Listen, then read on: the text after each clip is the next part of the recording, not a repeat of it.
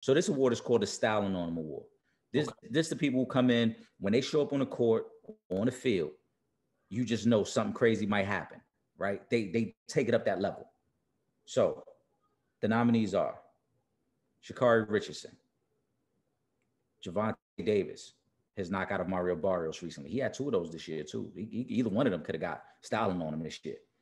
Uh, Jake Paul knocking out Nate Robinson. That's disrespectful. Yeah, how did Jake Paul even get up here on the? How did he yeah, get on the ballot?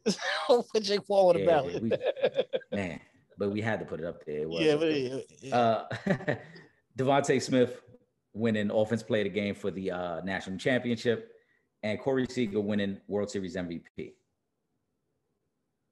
Can we get a drum roll, please? Drum roll. Sha'Carri Richardson. I, I wanted to say it fast because that's she's faster than that, so I wanted to say it real quick.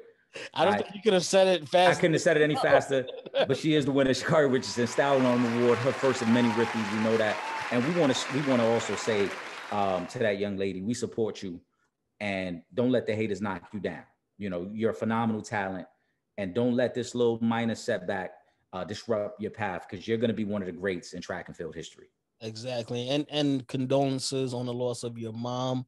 We understand. We rocking with you. We support you, and you know what? Just keep it. Just keep it going, man. You're young enough to that you can see another Olympics. So just keep that push going. We know we know you're the fastest woman in the world right now. So big shout out to Sha'Carri. Um, and again, you're more than welcome to come on Real Fans Real Talk whenever you want to accept Absolutely. the award personally. Um, but yeah, well, well deserved. Everybody that was nominated, I mean, maybe not Jake Paul, but everybody else, I feel like it's definitely a well deserved nomination. And um, but I'm happy she got the award. Yo, this is Teresa Weatherspoon, better known as Teaspoon, and you're watching Real Fans, Real Talk. Uh huh. This is Real Fans, Real Talk. Talk. Real fans, real talk. We as real as you thought. Real